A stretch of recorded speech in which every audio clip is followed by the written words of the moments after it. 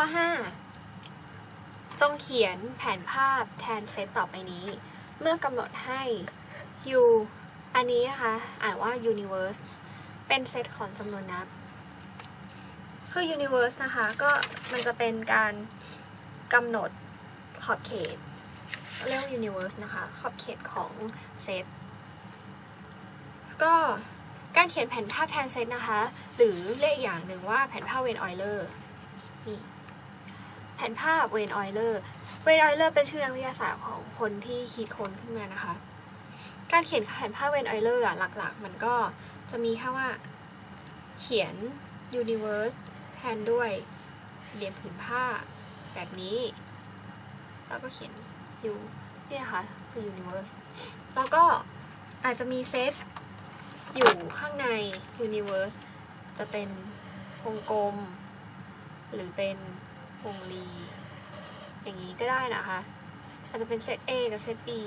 อย่างจากภาพนี้ก็คือว่าเซต A กับเซต B เนี่ยเป็นสับเซตของ universe นะคะ และเซต A กับเซต B ก็มีส่วนบางส่วนที่มีสมาชิกร่วมกัน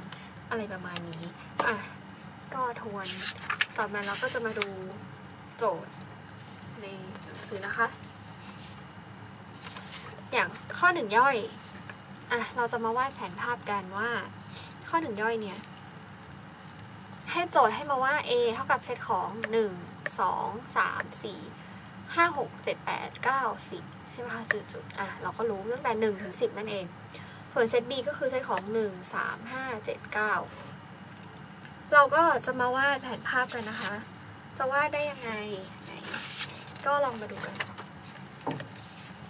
ข้อหนึ่ง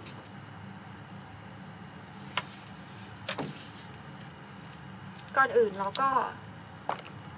ต้องวาด universe ก่อนใช่ไหมคะ อ่า วาดสี่เหลี่ยมผืนผ้า ก่อน อยู่นี่นี่คือ universe ของเรา อ่า ได้แล้ว เสร็จแล้วเราก็วาดเซต A เราสังเกตใช่ไหมคะว่าเซต A กับเซต B เนี่ย มีบางส่วนที่สมาชิกอยู่ด้วยกัน แล้วก็เขียนให้มันเหลื่อมกัน นี่เซต A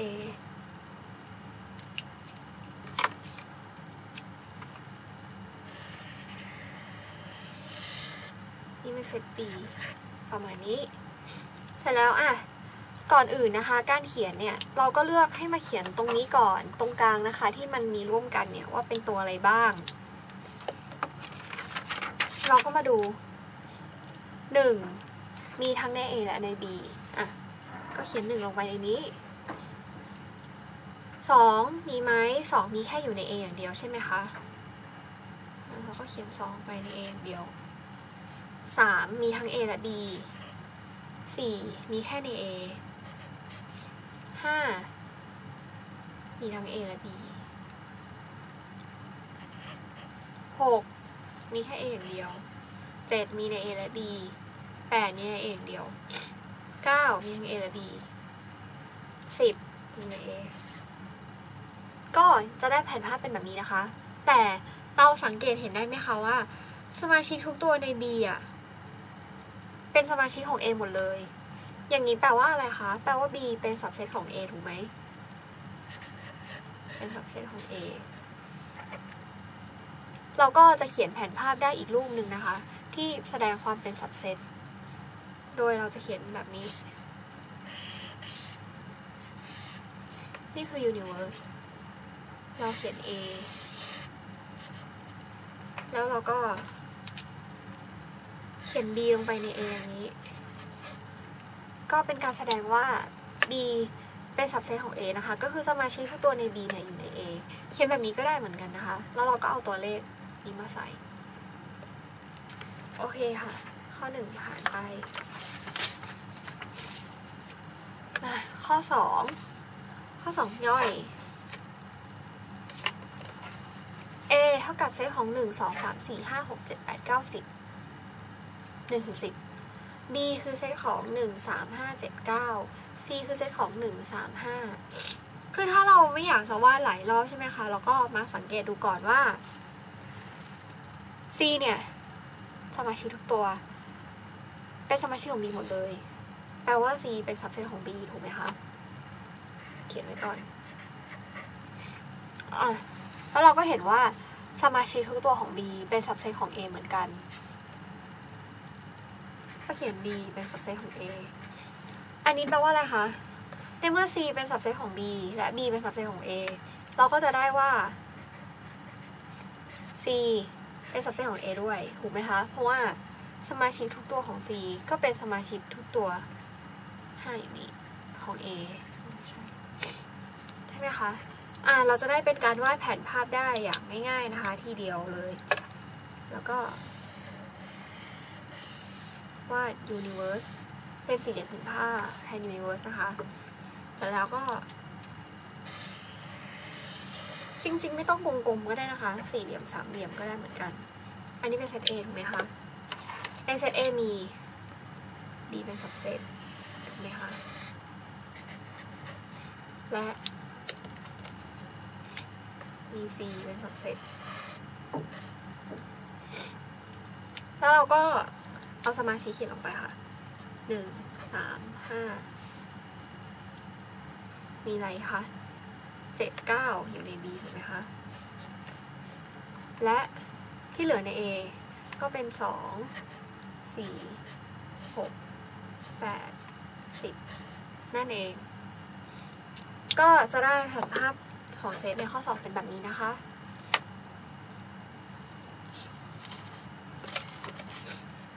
ต่อมา ข้อสามย่อย โจทย์ให้มาว่า A เท่ากับเซตของ 1 2 3 4 5 6 7 8 9 10 เหมือนเดิม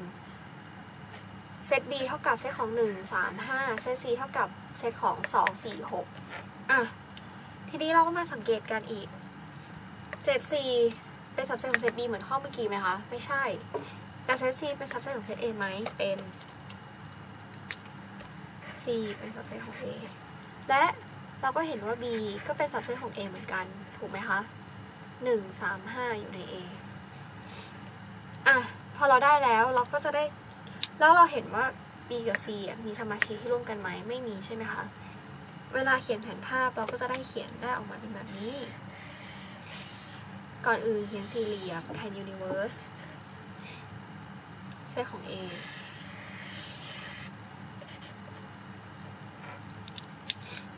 ข้างใน A ก็จะมี B กับ C ถูกไหมคะ มี B B กับ C จะไม่มีส่วนที่เหลื่อมล้ำกันนะคะ เพราะว่ามันไม่มี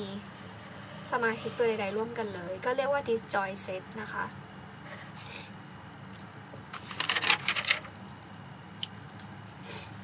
เรียก B กับ C ว่า disjoint NT set จอยแปลว่าเชื่อมใช่ไหมคะ disjoint คือมันไม่เชื่อมกัน อะ เสร็จแล้วเราก็เอาสมาชิกใส่ลงไป ก่อนอื่นก็ใส่ใน C C มีสองสี่หกใช่ไหมคะ A B มีหนึ่ง สามห้า A มีอะไรบ้างคะหนึ่งสองสามสี่ห้าหกเหลือเจ็ดแปดเก้าสิบคือเราจะใส่ยังไงก็ได้นะคะ ตามใจแค่ให้ขอให้สมาชิกทุกตัวมันนี่ยอยู่ในนี้ก็พอ โอเคค่ะ สรุปนะคะ หลักการเขียนแผนภาพแทนเซตก็คือการหรือการเขียนแผนภาพเวนออยเลอร์ อันดับแรกคือเราก็ต้องเขียนสี่เหลี่ยมก่อนแทน universe นะคะ แล้วเราก็เขียนเซตที่ให้มาทั้งหมดอะลงไปใน universe ซึ่งเราก็ถ้าอยากเขียนให้สวยงาม เราก็ดูความสัมพันธ์ของแต่ละเซตก่อนว่า มีส่วนที่มีสมาชิกเหมือนกันไหมมีสมาชิกร่วมกัน หรือว่าเป็นสับเซตกันหรือเปล่า เพื่อจะได้เขียนภาพออกมาให้สวยงามนะคะ แล้วก็นำเอาสมาชิกใส่ลงไปในแต่ละเซตใส่ลงไปให้ถูกตามช่องแค่นั้นเองค่ะ ก็ง่ายๆนะคะแผนการเขียนแผนภาพไว้ร้อยเลย